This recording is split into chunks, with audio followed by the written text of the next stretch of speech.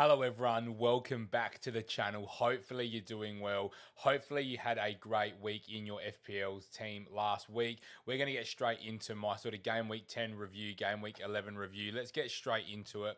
Here is my side. Let's see how it's performed. Very, very big week for us. You can probably tell by the rank what type of week we had.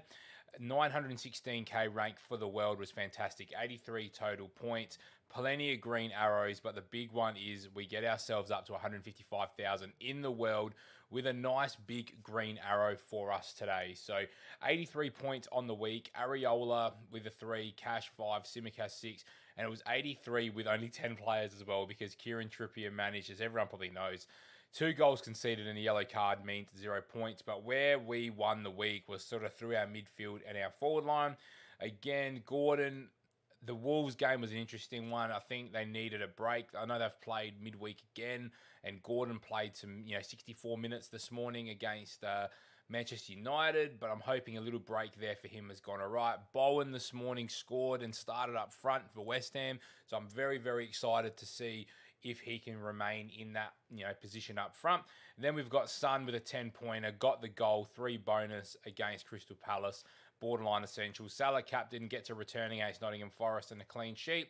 Would have liked that to have been a little bit more, but we take it and we run. But Moussa Diaby, the faith has paid off. He's got the goal, he's got the assist and a three bonus, and he's only about 10%, or he was about 10% owned, 11% owned last week. He's gone up because Aston Villa still have some very, very favourable fixtures. And then we have the Haaland 16 pointer. I just can't get my captaincy right. I've gone Haaland for two weeks in a row when Salah was the better captain. Then I've gone Salah and then Haaland was the better captain. So I could have been well inside, you know, the top 70 to 60k if I'd got the captaincy stuff right. But I feel like I've played the fixtures the best I can. And Darwin gets a start against Nottingham Forest, gets the goal, gets an assist gets a goal again this morning off the bench when Liverpool need him. Look at these fixtures Liverpool have. We get Luton, Brentford, Man City, which is coming off of the international break, which it's thought that he could potentially get a rest against Man City anyway. And I probably see Gakpo starting that game, so I might have to hold Darwin. And then we get him for Fulham, Sheffield United, Crystal Palace, Man United before Arsenal, Burnley you know, very, very good fixture run. Darwin's going to play many, many games, and he is starting to show his qualities as a finisher as well. So I'm excited to have Darwin. Gabriel ended up being my transfer in. I did go from Kabore to Gabriel. My thought process was right. I did start him uh, over Gordon. Again, I know he got rested. He, got, he played this morning. He's got Newcastle away. We'll talk about that in a minute, but would have been nice to get a six pointer out of him over Gordon. So would have got us obviously a net four points overall. We would have been fine with that. But end of the day, I think he's going to be primed for, for a good run of games here. What I'm really hoping for is to get these Burnley, Wolves, Luton, you know, games in particular before starting to look at what we do with Gabriel. But again, he's he should be locked. He's played enough minutes. We spoke about it last week. Udogie and Archer not doing much for us. Same with Turner. So this is what the team's going to look like Going into this week without any moves so far, Areola gets Brentford away, as does Bowen. Then Cash and Diaby get Forest away as well, which is good. Forest at home are a better team than they are away from home. I think this fixture is really good for Diaby more so than Cash because it looks like Awoniyi could be back some point, uh, sometime soon. Tsimikas gets Luton away, which is fantastic. And then we're sort of playing Trippier or Gabriel I don't particularly want to play Udogie in this one as well. He's not 100%. So I'm leaning Trippier for the attacking returns against Arsenal, and it is at, uh, sorry, against Arsenal at St. James Park, and Gordon gets us that as well. Then we get Salah, you know, Bowen, Son again. Son at home against Chelsea, great fixture. Although Chelsea's defense has been, you know, better than what we expected, I still think Tottenham are going to get goals in this game. Salah and Darwin against Luton is going to be unbelievable. I think away. We know Luton. You know they they tested Tottenham, but Tottenham did waste some early chances. You know against Luton at Luton. So you know if Liverpool can take some chances early in the game, this could be a big one. But the captaincy for me sits on Erling Haaland. He's at 84.5% owned. People have gotten rid of him around us as well. There's a lot of people above us that don't have Haaland, which is why they're above us too. I think, you know, with a full week's rest, they're out of the Carabao Cup. Erling Haaland, this could be hat trick territory for Erling Haaland. So very happy to keep the captaincy on him. I'm really looking to roll my transfer. You can see I'm in a really good position with my overall rank as well. We're sitting in that 155, just inside the top 155,000 there. We're almost at 156,000, but very, very solid for me. What I want to look at is what the team's going to look like moving forward. So obviously in game week 12, we get two transfers here.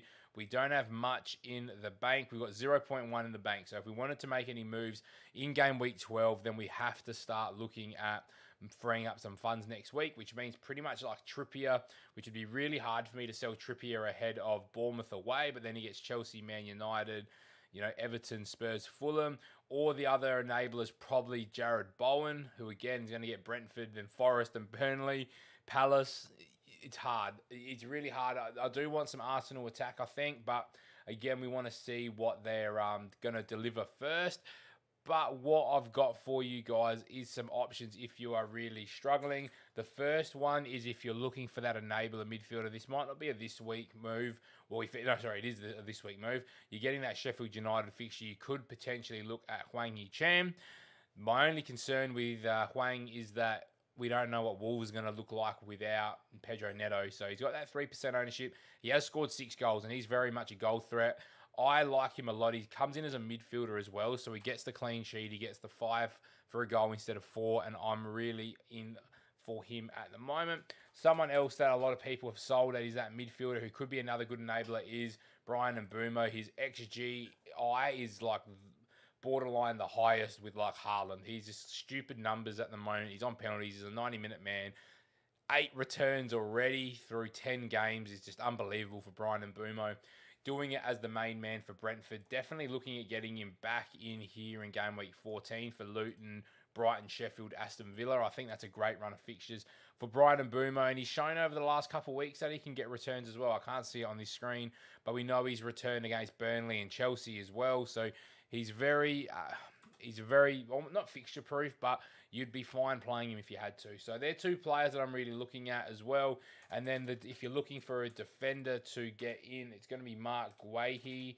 If I can spell his name, oh, because I'm searching midfielders, that might help if I change it to defenders. Crystal Palace defense have kept four clean sheets this season. I don't know if I'd prioritize bringing a defender in this week.